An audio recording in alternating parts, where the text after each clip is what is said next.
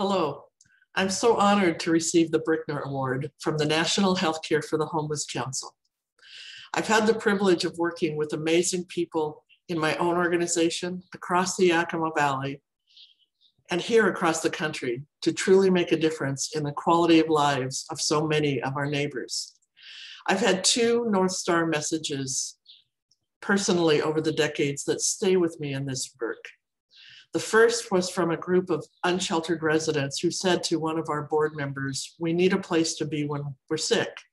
And the second was from our own medical providers who said, if you truly want to make a difference in the health of these patients, you need to help them put a roof over their heads. And so with the support of our own board of directors, our local partnerships, and state and national advocacy, great things have happened.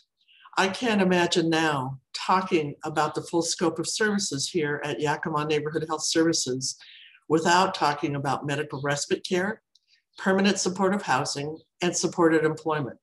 It would simply be incomplete to do so.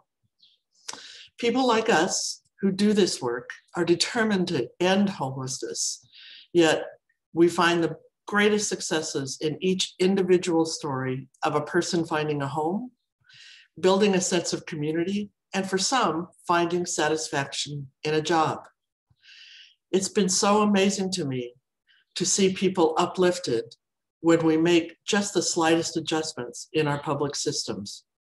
I'm grateful again for the creativity, the compassion, and the forward thinking of all of you I've had the privilege to share in this mission to end homelessness.